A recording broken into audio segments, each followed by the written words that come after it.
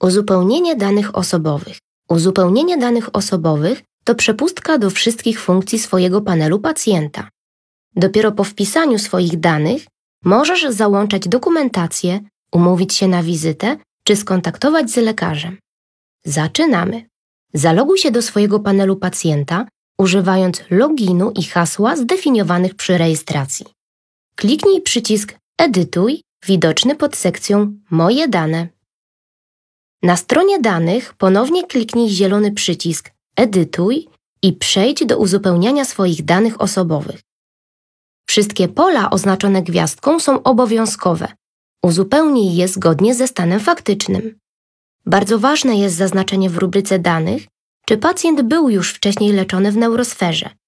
Wówczas przygotowana zostanie tzw. Tak wizyta migracyjna, podczas której cała dotychczasowa dokumentacja zostanie przeniesiona przez lekarza do nowego systemu.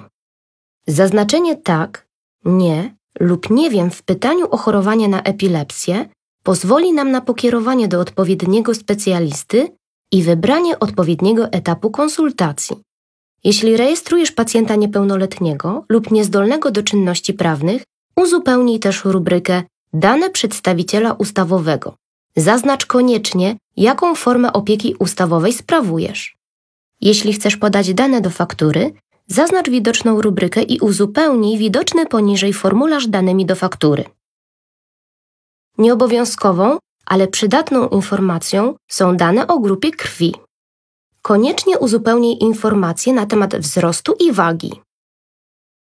Na koniec wpisz dane osób kontaktowych: imię, nazwisko i telefon. Nie są to informacje obowiązkowe, ale bardzo przydatne w nagłych wypadkach.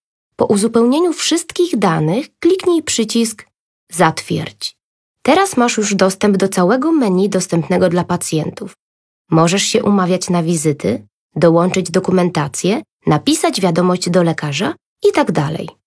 Możesz w dowolnym momencie edytować lub uzupełniać swoje dane osobowe, klikając po prostu Edytuj.